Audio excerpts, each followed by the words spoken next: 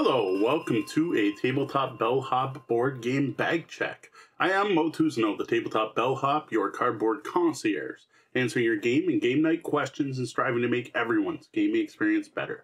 Tonight, the question we're answering is What's in the box in regards to this? This is a newly delivered Kickstarter version of Gorinto, which should match the retail version. This is um, back this on Kickstarter. I did a preview of this game before the thing launched. This is Gorinto from Grand Gamers Guild, which I honestly think may be one of the best modern abstract games to have come out in years. I've been comparing it to other games like Azul and Sagrada. I am a big fan of this game.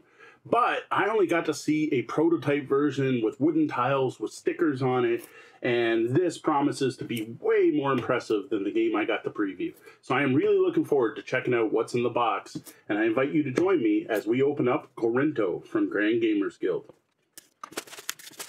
So here we have the box from Gorinto by Richard Yaner. I'll just flip around the outside edges here. Uh, this is a game for one to four sorry, it should be one to four players. Yeah, one to four players. There you go. 30 minute playing time.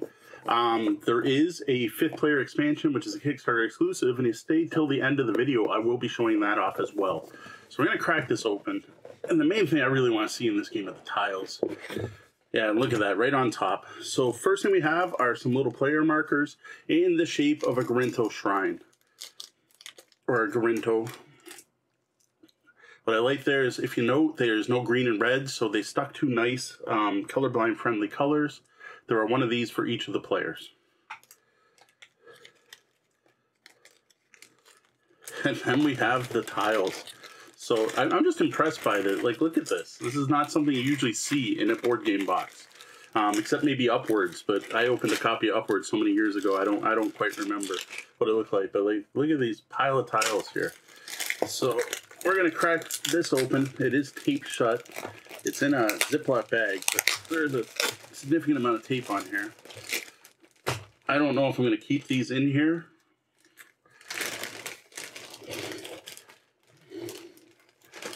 Okay, I gotta say those stack really nice. So I'm gonna bring these over here so you can kind of see them.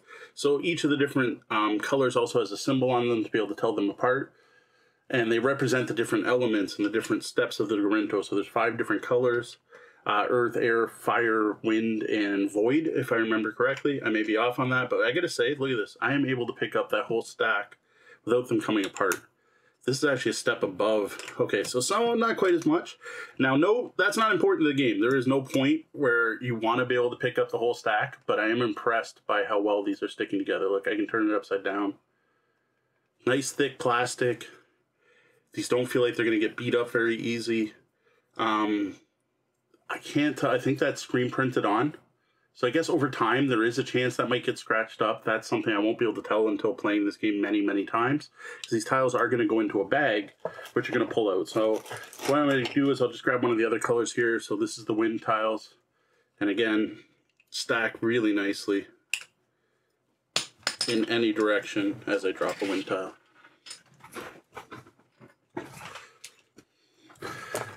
And you have plenty of these in different colors. Here's the orange, the fire. Wow, I like dropping these. The fire tokens, and again, all these stack nice. These, these, this is a quality component. You don't find stuff like that in board games very often. We have a, a bonus Ziploc baggie.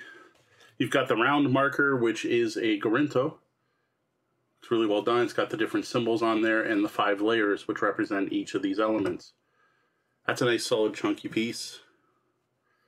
I dig it. Then you have a first player marker. That is a heavy, wow. This is a metal coin, basically. So what you have here is a thick, look at this, look how thick that is. Thick metal coin, showing the five elements on one side, and just a, a generic pattern, I guess, on the other side. This is a heavy chunk of metal. That is a really cool first player token. Note this may be a Kickstarter exclusive. I apologize. I said, I did kickstart this game. Um, then there's a small expansion included. Um, this is the Dragon expansion, so we have a little pack containing the rules. What I haven't seen is the rules for Gorinto yet, but I'm sure they're in here. You know what? I'll crack this open just to see if there's anything else in here.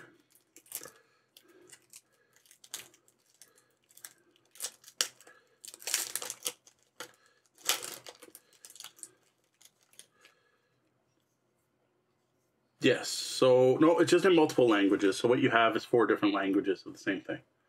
So you have the, the this whole thing. So so not language dependent in the fact, which is a good note to this game. There is, except for the rule book, there is no language in this game that you need to know.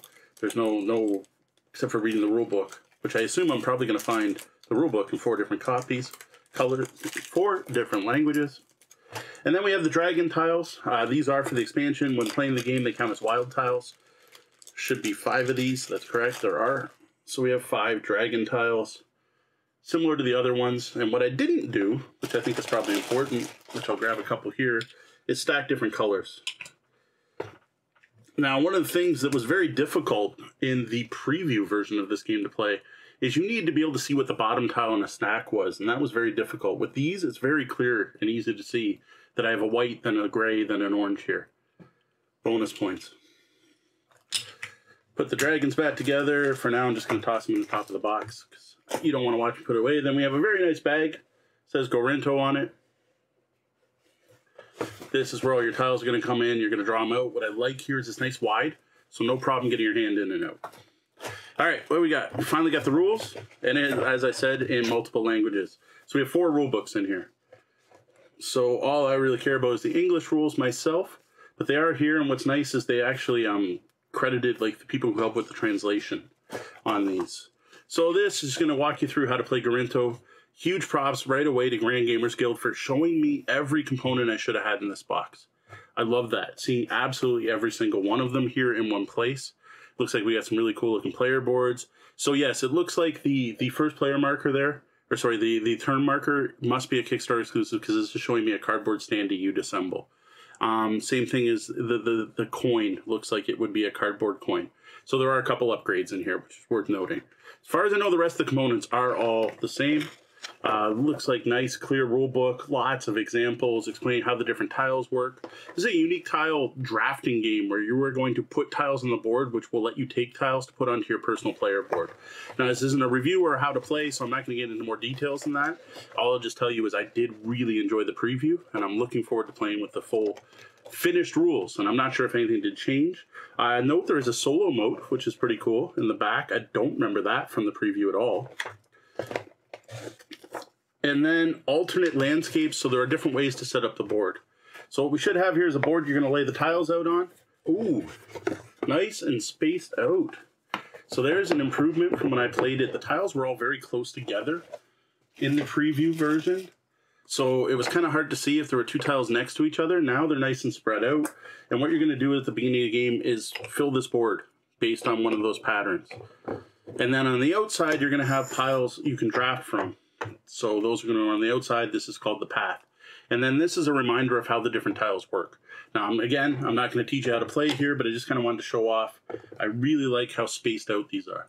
Now, I will say, I would have much preferred a nice 3D board here that these slot into like a game of UpWords. But I realized that would have been cost prohibitive, but that would have been an awesome upgrade. So what I'm hoping is this game does well enough that someone will convince Mark at Grand Gamers Guild to do a deluxe edition and then we'll come out with a a 3D mountain. This is called the mountain. Come up with a 3D mountain for us to stack our tiles on. So here we go, one-sided board. Which I think is a bit of a missed opportunity. Probably could have done some other different type of layout on this side. What I would have liked to have seen too is a number here for the default layout for the game telling you how many tiles to stack everywhere so I don't have to grab the rule book to figure out what the layout should be. But again, those are nice to haves. Still happy with what I'm seeing here. We have a deck of cards here, significant deck of cards. That does seem longer than I remember. All right, for cards, what we have here is different scoring cards. So every time you play a game of Gorinto, it's going to be different because different scoring cards are going to be in play. So this is one that says score each stack that is the same height as one or more of your other stacks. So while you're building up your personal supply of tiles, the only ones that are going to score are ones that are the same height. And there are a ton of these different ones, which adds a ton of replayability to the game. So I'm not going to go through all of them, but like look at all the different types of scoring cards here. Look at this. There's tons. This is way more than I got to see in the preview. Way, way more. Tons and tons of scoring cards. That that is a lot. That is a huge deck of scoring cards uh, with a shadow of a Gorinto on the back. That's that's a deck. Look at that. I'm impressed. That that makes me happy to see. There's an improvement over the version I got to preview. And then at the end of the, each game, there's going to be some end game scoring. And what it is, it's randomized. It's going to be two of your colored tiles. So these are the tiles to represent those. So again, there's just one of these for each of the different colors in the game, each of the different elements. And you're randomly going to pick two of those, and those are going to score points just for people who've collected all of that color, the most of that color. Then there is a so the, here's a couple rule variant. There's a rule variant included called Seasons of Change. So it looks like there's something that would actually change the scoring cards midway through. Again, something I didn't see in the preview, so that's a cool addition to me. Uh, in all four languages again, so there's two cards. Next, we get to a central board. This is where you organize things. So these are going to be your endgame scoring cards. Those are going to be your two scoring cards. This marks your four rounds. And this is your score track, where those little tiny Gorinto pieces would go on. Then we have, and wow, these are much shinier and nicer than the, the version I saw. These are the player boards. So I'm going to punch one out now. Wow, that came out nice, really nice. This is where you're going to keep track of your own personal tiles, what you've collected. So your void tiles go here, your fire tiles go here. Nice. It's got the, the Gorinto shape in the background. Definitely an upgrade from what I saw. Nice thick card. No complaints there at all. And that should be about it. Except what do we have here? All right, stuff. I have no idea what it is. So these must be some rule variants. So I will note, here's the Gorinto. So I do have the upgraded one. Here's the first player token. Again, I have an upgraded one. This is for if you get past 50 points. This is for randomizing turn order, but I have no idea what these foxes are for. So this is something else that was added to the game since I first got to try it. I'm looking forward to discovering what that is. I don't know what these tiles are, but it looks like they're showing different parts along the mountain, along the path on the side of the mountain. So I don't know. Maybe these are for. Oh, know what I bet? I bet you these are for the solo rules, and the fox is who you play against. That's that's a that's a guess though. It's not. I don't know that for sure. So my guess is you're going to draw one of these tiles, and the fox is going to draft that tile and place it. But I don't know. I, I honestly didn't know there were even solo rules included in here. So you have it. There we go. Bottom of the box. And again, in four languages. So multinational game here. That's what you get with Gorinto. So I'm going to pack this up, and then I'll share some final thoughts. And then I've got a bonus, which I am just going to be messy and hate myself later for tossing everything in loose here. Gorinto from Grand Gamers Guild. Now, what I have here is the fifth player expansion, which was a Kickstarter bonus. So, by backing the game on Kickstarter, I did also receive this fifth player expansion, which we're going to crack open and take a look at what we get. So, I expect it to be pretty obvious. So, what we do get is a new player board and a new player color. We get a new little Gorinto pawn for marking your score. There are the rules for the fifth player expansion. Um, yeah, in all four languages. And then additional tiles, because if you play with more players, you don't want to run out of tiles. Tiles are, of course, the exact same quality in the base game. So that is what you get inside the fifth player expansion for Gorinto, which I honestly, at this point, don't know if it will be available separately or not. I'm just going to toss this out because I don't see any need for it. And then I am going to do an important test here and see if that fits in the box here without having to do anything silly. I really hope it does. I think it'll be a tight fit, but I think it'll work. So yeah, that fits there, no problem. This fits here. There you go. With the expansion, everything does fit in the box. Thank you, Grand Gamers Guild. I hate when I get an expansion, it doesn't fit in the base game box. So there you go. That is what you get inside the box for Gorinto from Grand Gamers Guild honestly, this is one of the best abstract games I've ever played. I am really looking forward to checking out the production copy, which is way nicer than the preview I got to take a look at. Really impressive game, great looking components, solo rules as well included. Uh, this looks fantastic. I am really looking forward to sitting down and playing this. I will admit, there are a couple things I would have improved or I would like to have seen improved. Like, I would have loved a 3D mountain to the tile slot into. But I get it, the game would probably be way too expensive at that point.